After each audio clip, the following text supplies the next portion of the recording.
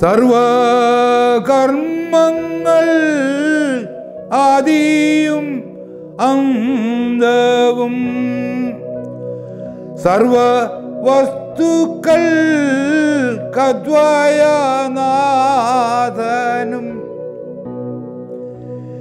എല്ലാ രൂപത്തിൽ അരൂപരൂപവും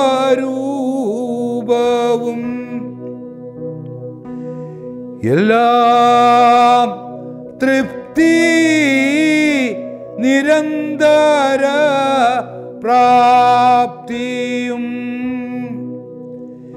എല്ലാം ബുദ്ധിയാൽ കണ്ടറിയുന്നവൻ. എല്ലാം സാധിപ്പാനും വശം ഉള്ളവൻ. ഒന്നീ നാലൊരു മുട്ടുവരാത്തവൻ.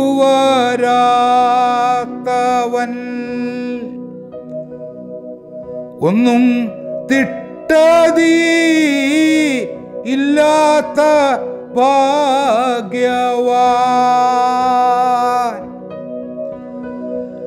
തന്റെ മുഷ്കരം കാട്ടുവാൻ കാരണം. മറ്റു സൃഷ്ടികൾ നിർമ്മിപ്പാരംഭിച്ചു.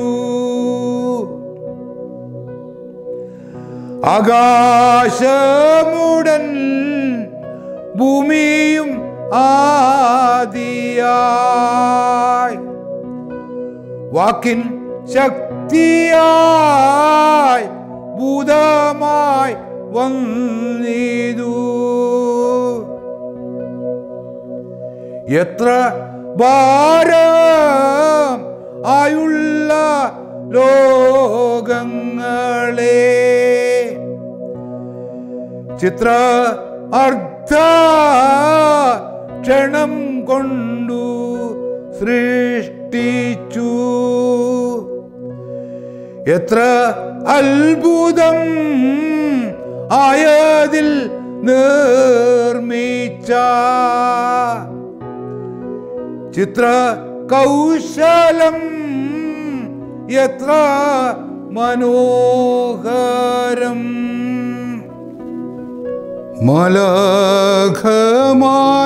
മലഘമാരാം പ്രതാപം ഏറിയ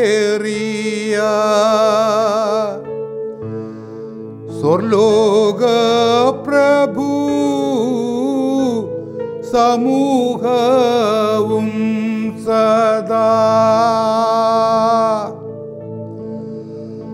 സൂക്ഷ്മം അക്ഷയം ദീപ്തി ലഘുത്വവും. രക്ഷകൻ നൽകി ഭൃത്യ വൃന്ദത്തിനു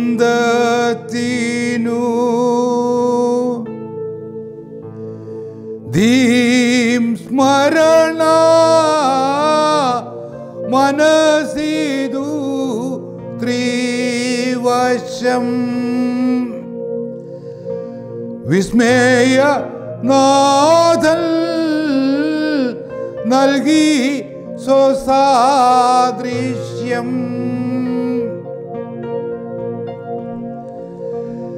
തൽപ്രതാപ പെരുമ അറിയുവാനും തൽപരനെ സ്തുതിച്ച് ആരാധിപ്പാനും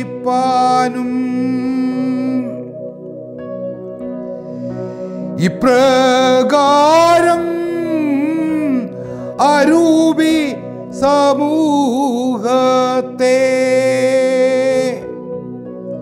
തൻ പ്രിയത്തോടെ സൃഷ്ടിച്ചനവധി അവർക്കാനന്ദ മോക്ഷത്തെ പ്രാപിപ്പാൻ ദേവൻ കൽപ്പിച്ചു ന്യായ പ്രമാണവും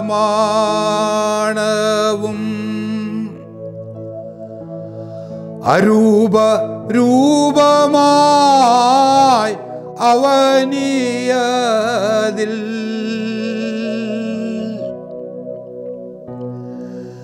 നരവർഗത്തെ സൃഷ്ടിക്കും ദാസരായി.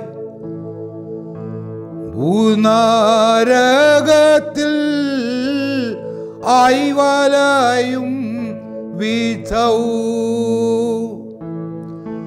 ഭൂനര ത്രാണത്തിൽ ലുമമ സൂതൽ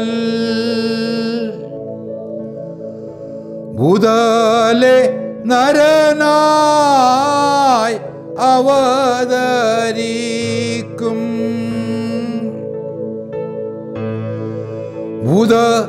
ഭൂതനാഥനെ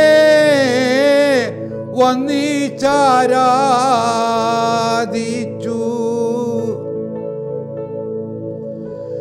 നിധി സമ്മതം ചെയ്തു കൃപാഫലം.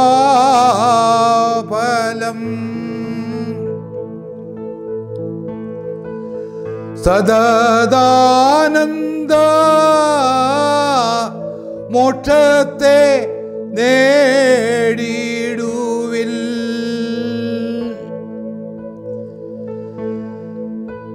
മേവീതി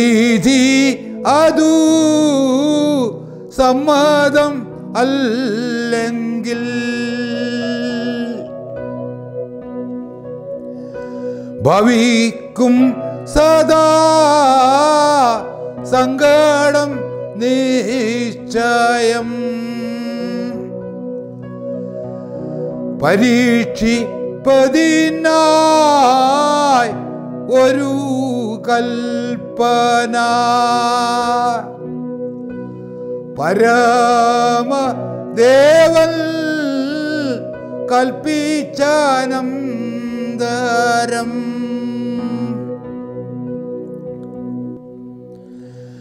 സ്വാമി തന്നൂടെ ന്യായദയാവിധി.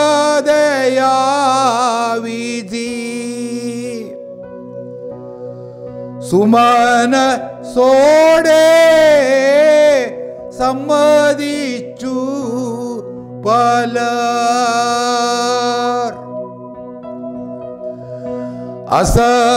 അസമേശ്വനെ കണ്ടവർ അക്ഷണേ അസമ ഭാഗ്യ പ്രാപ്തിയെ നേടിനാർ മോക്ഷ ഭാഗ്യം ഭവിച്ച മാലാകമാർ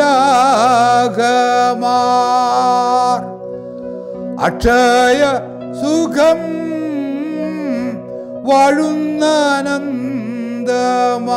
വാഴുന്നനന്ദമായി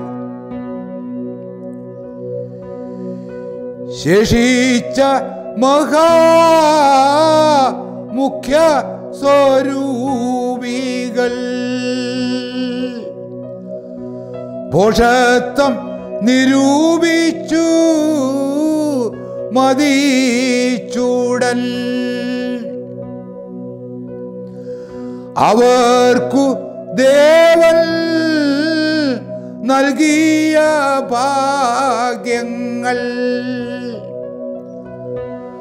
അവർ കണ്ടു നിഗളിച്ചനേകവും.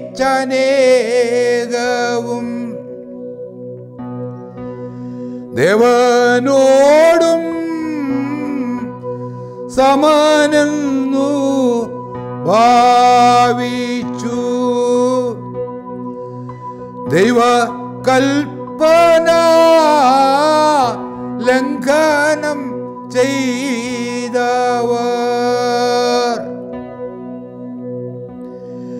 നിന്ന ചെയ്തതു